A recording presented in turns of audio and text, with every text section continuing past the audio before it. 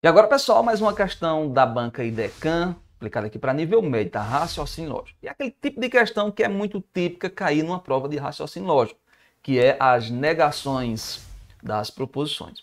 Para tanto, vou te indicar um vídeo que eu tenho aqui no canal sobre as leis de Morgan. Vai ficar aqui na descrição, confere lá se você tem dúvida neste assunto, porque eu abordo isso aqui na veia mesmo e dou dezenas de exemplos para você poder compreender. Então deixou aquela curtida, se inscreva no canal, ativa o sininho, vamos lá.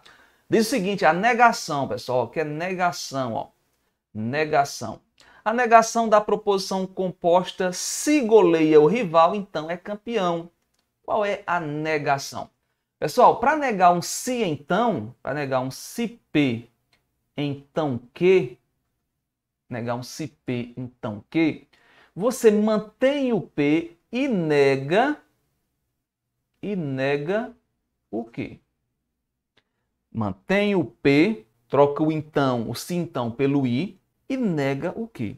Inclusive, a galera chama de regra do mané. Mantém e nega. Mané, mantém e nega. Show de bola? Eu vou deixar aqui na descrição a playlist para você poder conferir e entender isso aí bem direitinho. Beleza? Então, digamos que essa aqui seja a proposição P, goleia o rival, a proposição Q é campeão. É como é que eu nego isso? Eu mantenho.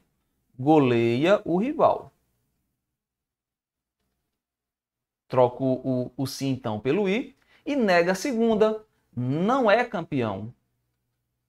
Esta é a negação. Goleia o rival e não é campeão. Letra B é a nossa opção correta. Porém, todavia, contudo, tem um detalhe.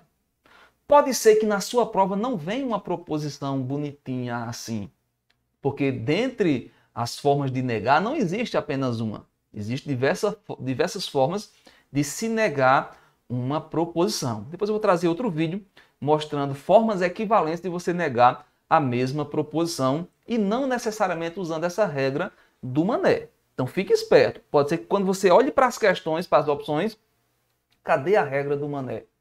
Não tem. E daí? Nos próximos vídeos vou trazer alguma coisa nesse sentido para você. Tchau, tchau e até a próxima.